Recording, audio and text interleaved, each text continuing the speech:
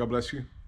Hope and pray that today you are doing well, uh, continuing continuing to trust in God in everything that you do. Uh, and we welcome you. We welcome you to our Wednesday devotion. Um, and and again, I, I, pray that today is uh, today's devotion will be of a blessing to your life. You know, God has been God has been so good. God has been so great to each and every one of us. You know, uh, and even in the middle of, of the difficulties and situation and circumstances that we face, God is still so faithful. The Lord is still so faithful. You know, uh, and and God continues to do and want to do so much in our lives. You know, this past Sunday, uh, if, if you listen to Sunday sermon, we spoke on um, Abraham and, and, and Sarah, Abraham and Sarah, how the situation that they went through, how um, Sarah kind of got impatient and or, or not kind of, but she did. She you know she grew impatient in on God's promises, what what He had said of making uh, Abraham the father of nations, and she said, "Well, you know, God is not allowing me to have children, so maybe you know we go about it this way." And of course, we know if you paid attention or not paid attention, but if you listened to and watched uh, uh, Sunday's devotion, Sunday sermon, you you heard the story, or if you already knew the story of what happened with Hagar and everything. Uh, you know, sometimes by our actions, we interfere with what God wants to do within our lives. You know, and when we do that, uh, we're basically saying, I don't know if God can do what He said He's going to do, or what you know, or or or I don't know if God can answer the uh, the prayer, you know, petition that I have before Him. So what we're doing there is basically is that we're limiting God. We're limiting God in in by our actions, by our words, you know. And I'm going to read some verses. I'm going to read uh, Isaiah 55, verses eight and nine and I'm reading out of the, out of the New Living Translation, and I love the way it says it in, in this translation, this verse. It says, um, because this is the verse that says, For your ways are not my ways, your thoughts are not my thoughts. But I love the way it says it in the New Living Translation. It says, My thoughts are nothing like your thoughts, says the Lord, and my ways are far beyond anything you could imagine. And in verse 9 says, For just as the heaven the heavens are higher than the earth, so my ways are higher than your ways and my thoughts are higher than your thoughts you know and what are his ways what are his thoughts? What are his ways and his thoughts? You know in jeremiah 29 11 the bible says that that uh, the plans that he has for us are for good and not for evil to give us a future and hope. You know and then we have in ephesians and i've read this verse several times uh, it, throughout you know sermons and devotions but it's a very powerful verse and it's ephesians 3.20 and again, out of the out of the, the, the New Living Translation, says, Now all the glory to God who is able through his power, through his mighty power at work within us, uh, is able to accomplish infin- infinitely more than what we can what we can ask or think. And there's ver- versions that say translations that say what we can ask or imagine, you know, and that's what that's who God is. That's who God is. You know, He is able to do more than what we can ask or imagine, you know, and the plans and thoughts and ways that he has for us. And his ways aren't like our ways. What he wants isn't necessarily what we want but it's a good thing. Trust me it, it, because what god has and wants for us is so much better than what we want for ourselves. I'll just plainly put it that way what God has and wants for us is so much better than what we want for ourselves. So much better. You know, His plans are so much better. His thoughts are so much better. You know, because when we think about everything that God has done in our lives, uh, and we think about it, it's like, would we have done it any differently? Would we have done it better? Would, would, we have done it different? Of course, we would have done it differently because of the fact that we don't think the way that God thinks. So we would have done it a whole, a whole totally different way, and it probably would have been worse. It probably would have been messed up, and when it, and it probably would have messed up our ways. Because we're limited in our thinking, we're limited in our abilities, we're limited in, even in what, oh, Pastor, you don't know me. I can think per- pretty big, I can imagine pretty big. Eh, trust me, that goes, it doesn't even compare to what God has for us. But that's why His Word says that His thoughts are nothing like our thoughts, and his, and His ways, it says, and my ways are far beyond anything you could even imagine. But that's what makes God God, and that, and that that's what makes us us. But we also, like I said in a in a, in a sermon or devotion that I did uh, not too long ago, which was we have to know who we are in Him, and we have to know who He is for you know to us. Who are we in Him? And His ways are far beyond ours, you know, and more than what He we, we could even imagine. That just means that at His infinite power everything that he wants to do and is going to do and needs to do, he wants to do it in us. He doesn't want to do it in anybody else. And what he's doing in something in somebody else isn't what he's going to do in us. But the problem is, is that many times we limit God.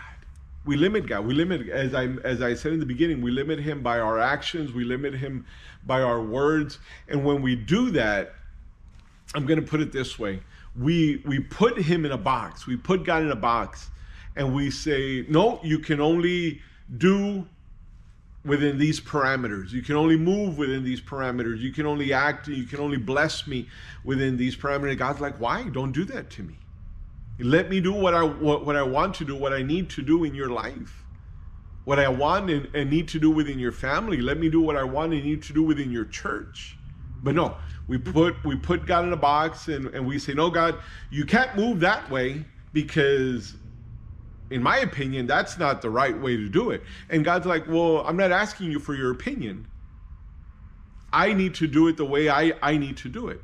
And and there's times that we say, no, no, no, no, that can't be from God, or, or he can't be from God because look at him.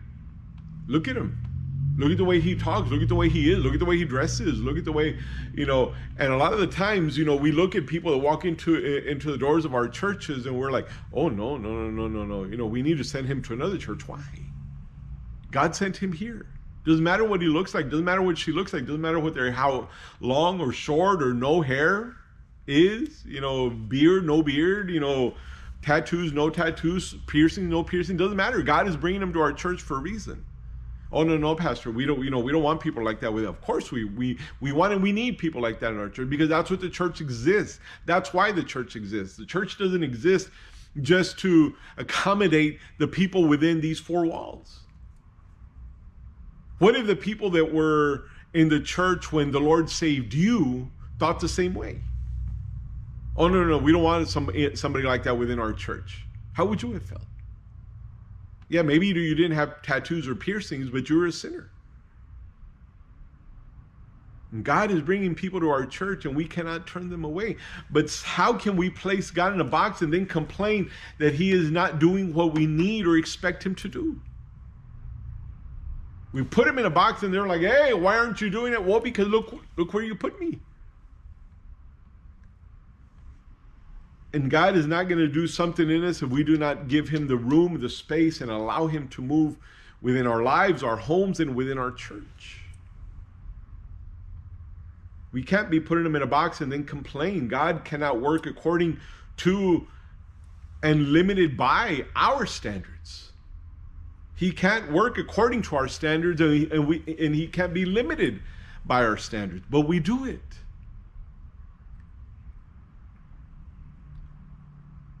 As it says, as we read in the beginning in Isaiah 55 8, that his ways aren't our ways, his thoughts aren't our thoughts. And I love how, he, how it says that his thoughts aren't like our thoughts because his thoughts are, are far beyond anything we can imagine.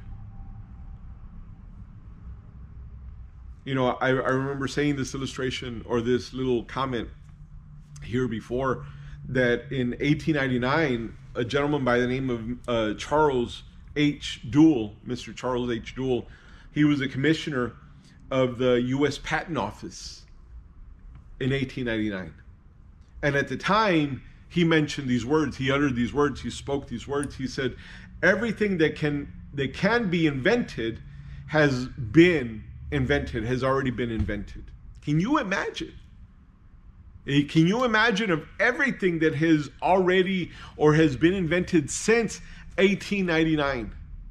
From 1900 to 2021, everything that has been invented.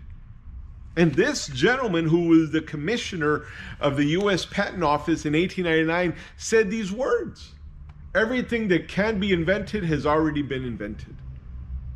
You know, and sometimes we have that attitude with God because we lack faith. We lack faith, and, and our lack of faith limits God. Our, our lack of faith limits God. Because, you know, by, by not believing in, in that, that He can do it, our attitude takes over. Our lack of faith, that attitude takes over, and we say, no, no, no, no, no, no, no, God can't do that. God can't do that. No, no, no, no. I, I, I think that, that, that because of our lack of faith, we say, no, you know what? That might be too much for God. What? Have you forgotten that we serve God Almighty, all powerful? There is nothing impossible for Him, but yet we limit God because we can't believe that much because our faith does not go that far because our faith is limited by this right here this human brain that's right here these human emotions that we have inside. When we begin to limit our faith by our mind and our emotions our thinking and our emotions mm-mm, everything everything begins to go downhill from there. Because it, be, it, it it it takes our faith and it diminishes it it, it, it squashes it.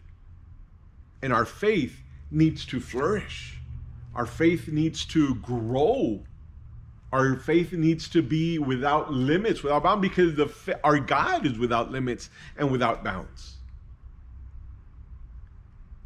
We have to not, we can't allow our, our lack of faith to limit God. You know, and then relying uh, on our own power instead of God's power, that also limits God. If we begin even to, to say, well, if I can't do it, if I, if I if I can't think of it, if I can't do it, if I can't say, well, how is God can well because He's God. Because He's God.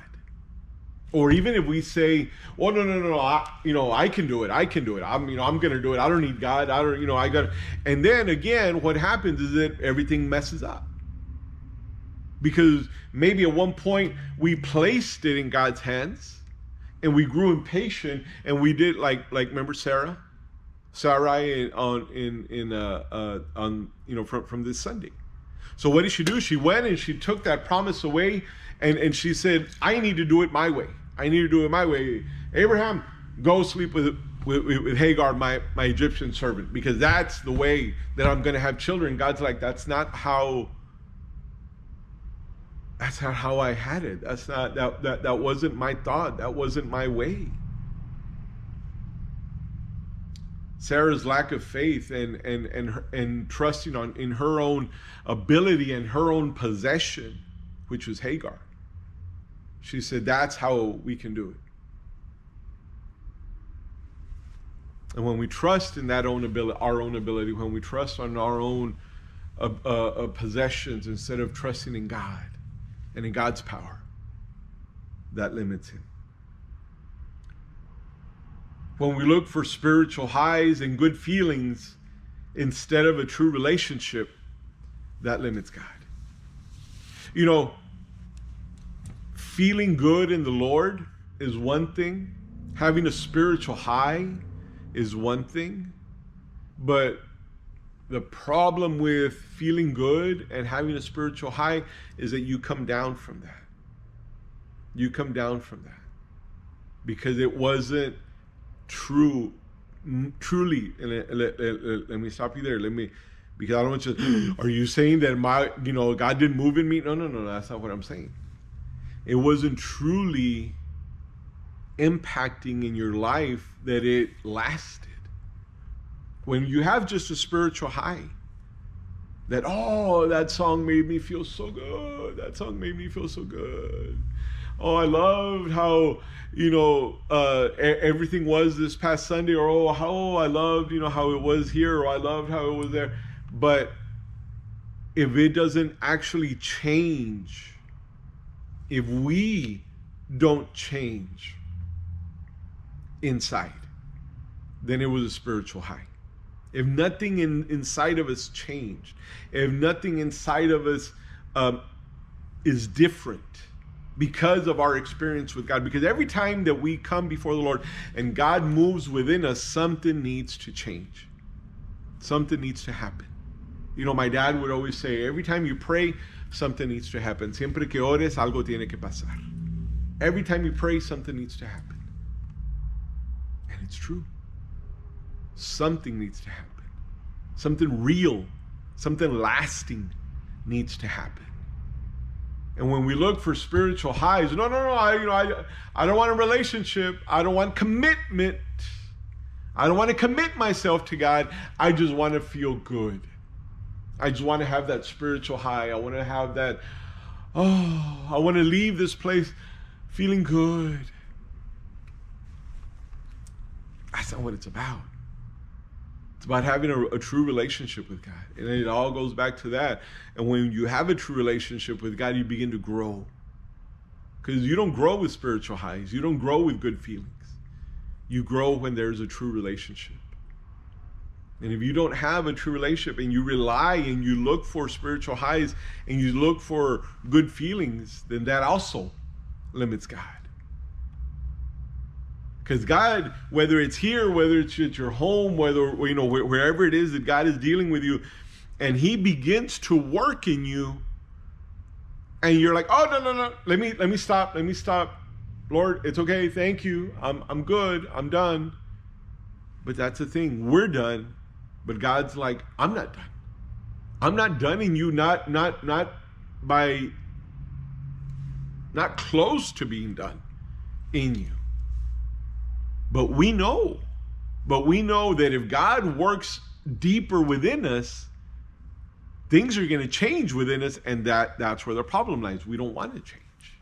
We like how we are. We like how we are. We like what we do. And God is saying, I need to. Commit yourself to me, walk with me, have a relationship with me. Because when we begin to do that, we begin to get closer to God. We begin to, to, to allow God to get closer in us and move, do more within us. Don't look for spiritual high and good feelings because that limits God. And I'll end with this. And when we expect little, what happens is that we will receive little. As I mentioned, when we say, no, no, no, I don't, I don't, I don't need all that. I just need that a little bit. This right here. I'm looking for this little bit right here. I'm, I don't I don't need everything that God has for me, Pastor. I just need this right here. Don't give me the big. I I'm I'm okay with the small.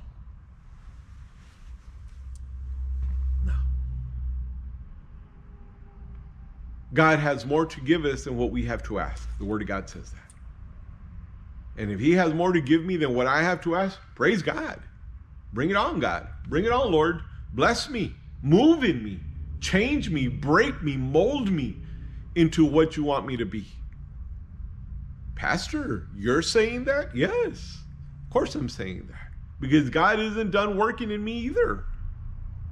None of us. None of us. If there is somebody out there that says, oh, God is already done with me. I, I am his perfect creation. I'm already, no, he's lying. She's lying. Because God every day works within each and every one of us. Each and every one of us. We strive. The Apostle Paul. The Apostle Paul says, every day I strive to reach that goal. What goal? The goal that God has set for me.